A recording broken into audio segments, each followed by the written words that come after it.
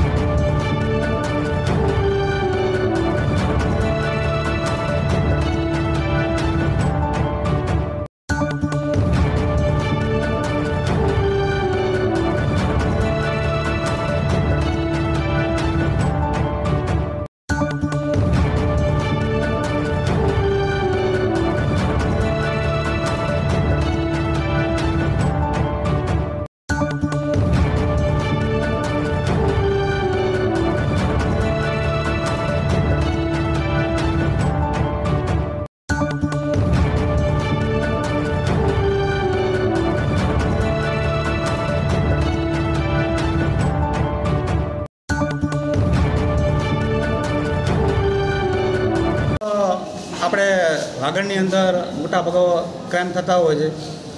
આ ક્રાઇમની અંદર જે આર્થિક રીતે પછાત એસસી એસટીના લોકો ઉપર વધારે ક્રાઇમ થતા હોય છે.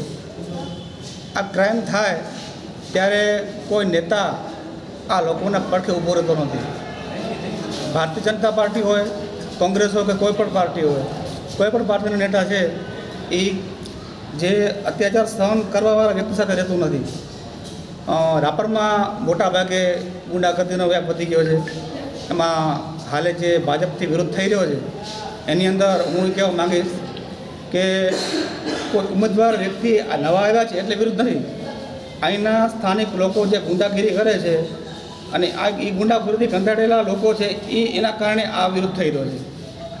ભાજપ પાર્ટીના કોઈ પણ ઉમેદવાર હોય, તો એને જીતાડવો, ન જીતાડવો એ લોકોની વાત છે, એની સત્તાની વાત છે. પણ આ ઉમેદવાર જાહેર થયા, એના પહેલાં લોકોની ઈચ્છા એવી હતી કે પંકજભાઈ મહેતાના ટિકિટ મળશે અને આપણે જીતાડવા છે એમને.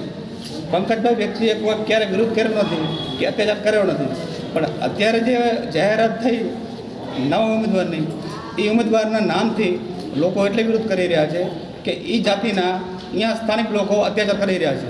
ન્યૂઝ ચેનલને લાઈક, શેર અને સબસ્ક્રાઇબ કરો. બેલ આઇકન દબાવવાનું ના ભૂલતા.